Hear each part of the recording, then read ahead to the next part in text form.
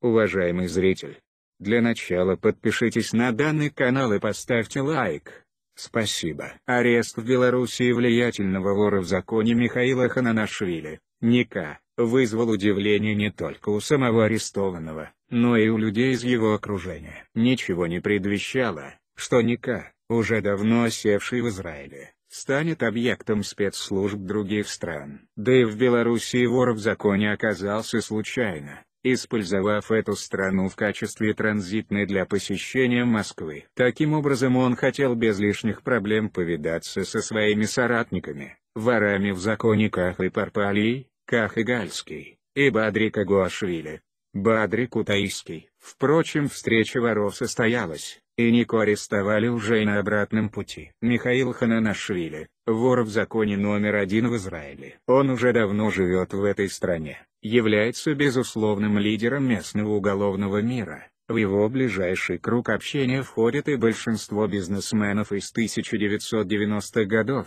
обосновавшихся на земле обетованной. Ника считается представителем влиятельного кутаиского клана, однако не со всеми его лидерами у него добрые отношения. Так, Стрелы Маняна, Таро, они, скорее, натянутые. А вот Бадрик Игуашвили и Ника, близкие друзья. Хананашвили в основном держится в стороне от активных фаз мафиозных войн. Хотя в 2012 году он устроил рукопашную схватку с Гелой Кардавой. Произошла она из-за Бадри. Кардава организовал необоснованную маляву о находившемся в тюрьме Кагуашвили. И Ника, встретившись с Гелой, решил разобраться с обидчиком друга. Волею судьбы Кардава тоже сейчас находится в белорусской тюрьме. В мае 2018 года Бадри вышел на свободу после долгой отсидки. И осенью Ника решил навестить старинного приятеля, а заодно пообщаться с Кахой Парпалия, с которым у него сложились добрые отношения. Чтобы особо не светиться,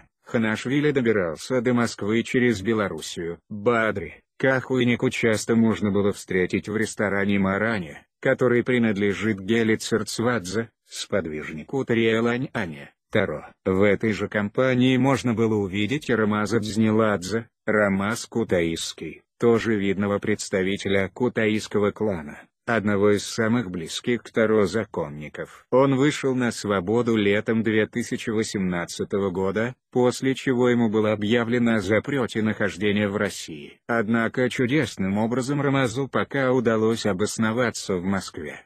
Неожиданно свой 50-летний юбилей в Маране решил отметить и Эдуард Осетрина, ранее не бывший частым гостем в данном заведении. На празднике присутствовали Бадри, Каха, Ника, Вроде бы все прошло мирно, однако существующая между Ках и Осетриной напряженность сохранилась, похоже, навсегда. Парпале, перебравшись в Москву, стал ближайшим сподвижником на тот момент главного вора России Захария Калашова. Шакра молодой. В близкий круг общения Кахи вошли родственники Шакра, Давид Азманов, Дата, Надар Асаян, Надар, и Шалва Азманов, Куса. Последняя хозяева Юга России, в том числе Ростовской области и Краснодарского края. На эти регионы простирается амбиция Осетрины. Однако пока Шакра был на свободе, он старался не афишировать свои притязания. После того, как Калашова арестовали, Асатрян выждал определенное время, а потом начал пытаться распространить свое влияние на юг России. Родственникам Калашова удается весьма успешно отбивать атаки осетрины,